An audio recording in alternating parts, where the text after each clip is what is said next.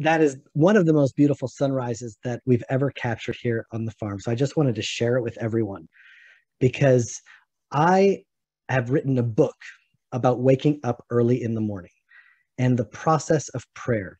And since coming back to Israel, I have not woken up early even once.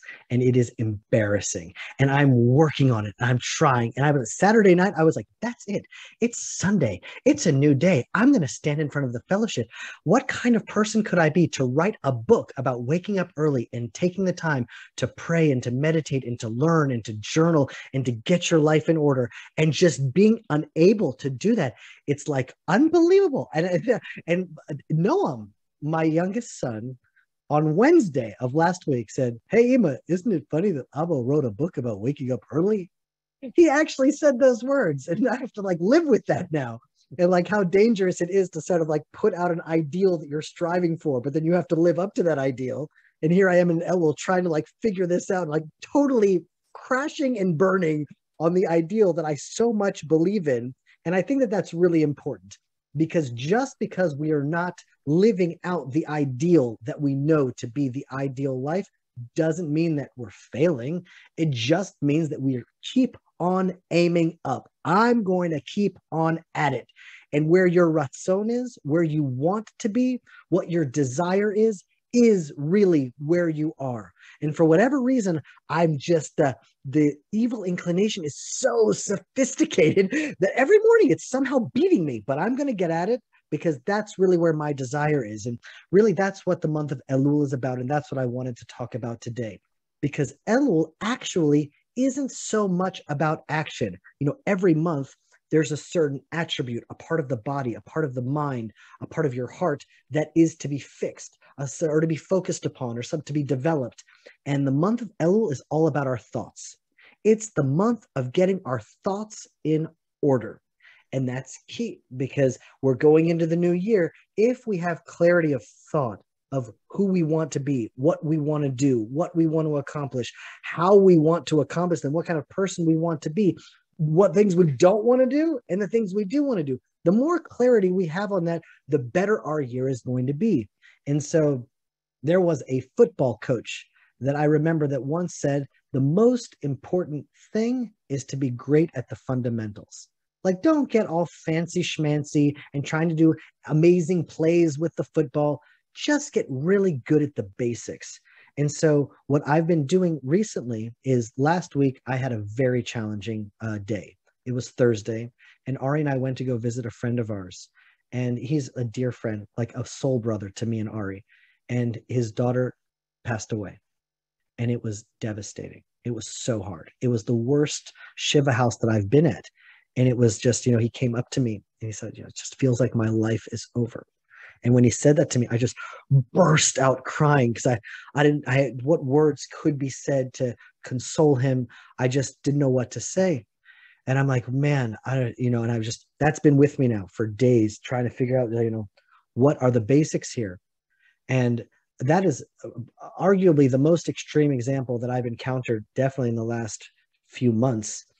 But I wanted to go back to the basics and the principles of emunah because going into this year, not only do we want to be proactive about what we want to do, what we want to accomplish, how we want to live, who we want to be, but I also want to set into motion how I want to respond to the challenges that I know are going to come. it's just a matter of time until challenges come. And I want to know, I want to prepare myself going into the year. What are the fundamentals of emunah that I want to have? Because a lot of times we talk about emunah as action, loyalty in action, faith in practice, and that's true. But Rabbi Nachman of Breslov really brings principles of emunah that are not action oriented, but more mind oriented, faith oriented, um, psychologically oriented. The paradigm through which we see the world is also another form of emunah. And so, what does he say? He says there are three principles to emunah. Principle number one, I actually made a little slide for it for you. Principle number one something happens to us in the world. Everything that happens happens from Hashem. Nothing here is random. Nothing here is from a force counter to God. Everything is one, and everything happens from above. Everything that happens to us happens from Hashem. Can we get the slide back up there and keep it up there, please? The second principle is that everything that happens to us happens for a reason. Something that happens to us, it's not just happenstance. There's guidance that's happening there. There's a spice cart that we need to be aware of. There's something that's happening, and it's not just random. It's happening for a reason.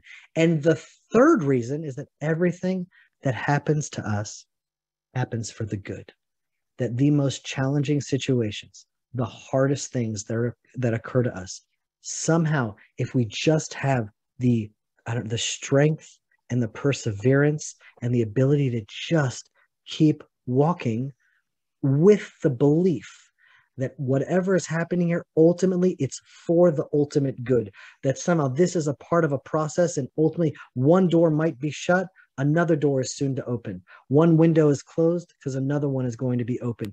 Everything that happens happens from hashem. Everything that happens happens for a reason. And everything that happens is ultimately for the good. So I've just been thinking about that over and over and over, getting those fundamentals back into place.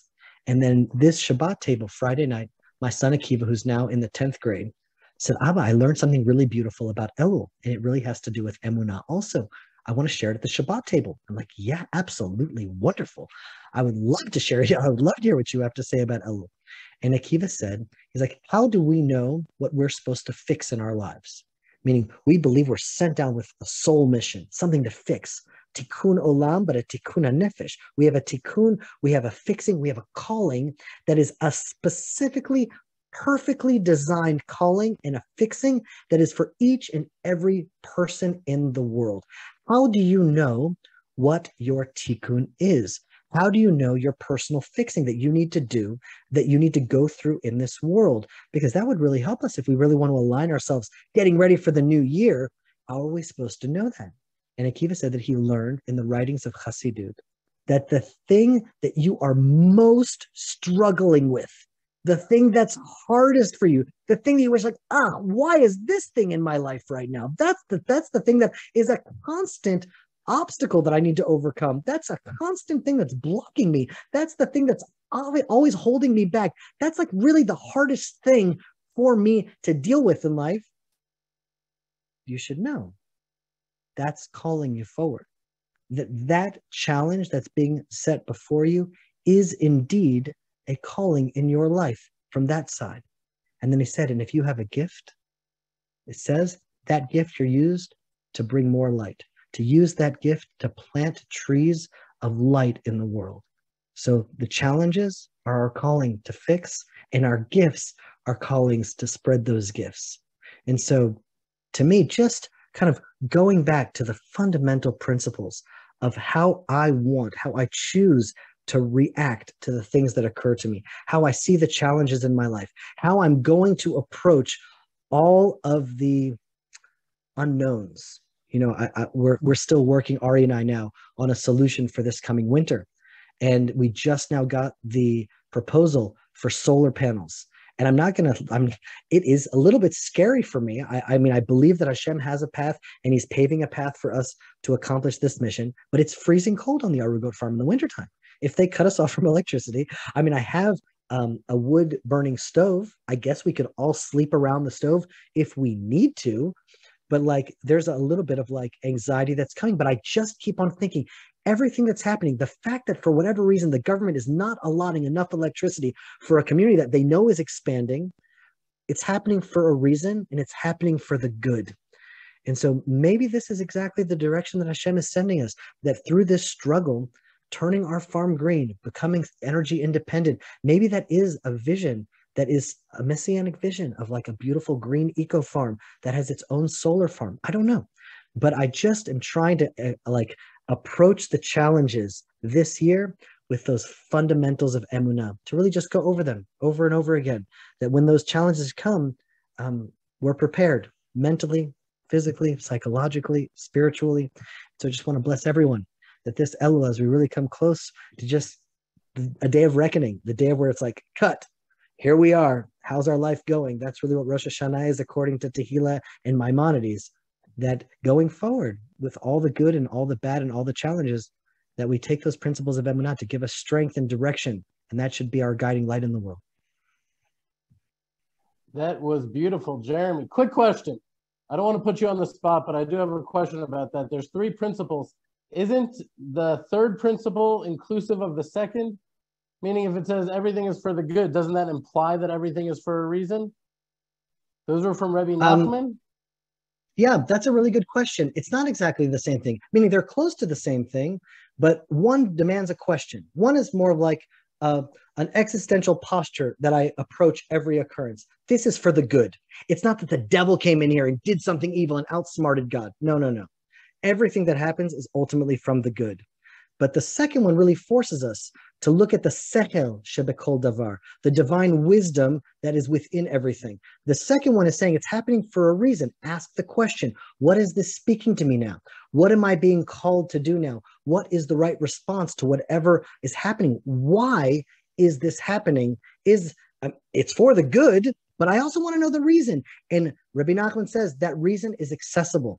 That even if you can't see the ultimate reason, you can find enough to take the next steps forward. So the first one is that everything is from Hashem. There is nothing other than Hashem in this world. Everything is from Him. The second thing is everything happens for a reason. And if we're open enough to ask, why is this happening? What is it here to teach me? What is it here to guide me? That's second stage. And the third stage is just the posture. I don't I haven't found out the reason yet.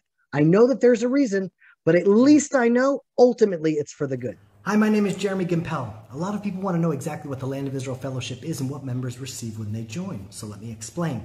The Land of Israel Fellowship is a global online community with hundreds of members from over 40 countries around the world. There are live sessions and gatherings that create a direct personal connection to the land of Israel and to lovers of Israel from around the world.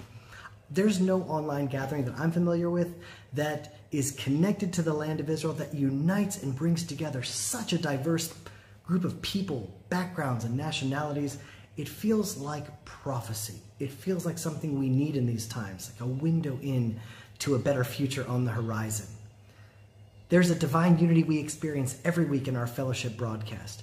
We heard these amazing teachings from an authentic Hebrew and Israel perspective, and our jaws drop.